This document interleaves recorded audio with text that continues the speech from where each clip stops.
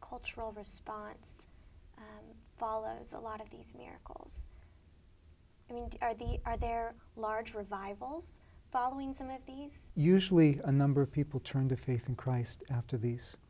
There's an account from uh, northern India of a people group that turned to Christ after uh, one of the leader's sons died. Uh, he'd, he'd been trying everything to revive the son, uh, sacrifices to different gods, whatever medicine he could find, nothing seemed to work. And the pharmacist said, Well, why don't you try Jesus, the Christian God? You have tried everything else. And he went back and found that his son had already died. But the physician had told him about the story of Lazarus. And so he laid his hand on the boy's head and said, Jesus, the one who raised Lazarus, if, if you raise my, my boy, I will follow you. And his son came back to life.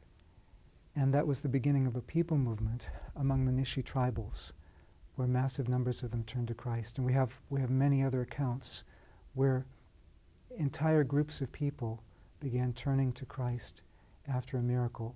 May I share another one? Please. Uh, this, this one comes from a friend of mine who was present. He was an eyewitness of the account, uh, Douglas Norwood.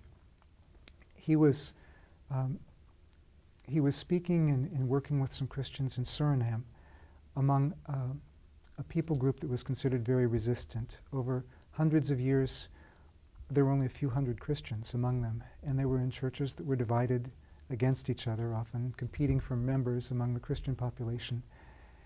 But they came together that day and began to pray and to repent of their divisions, and God's Spirit fell among them. And they went out and began sharing their faith. And many interested people came to the church that evening. One of them was a skeptic. He had been Hindu all his life. He was an elderly man. He was paralyzed in his arm. He'd been paralyzed in his arm all of his life. And he started defying them. And he said, I defy this, this God. And as he did it, his arm shot up in the air, his arm that had always been paralyzed. And he looked at it. He was converted a people movement started, and over the next few years, tens of thousands of members of that people group became followers of Jesus. Tens of thousands. Yes.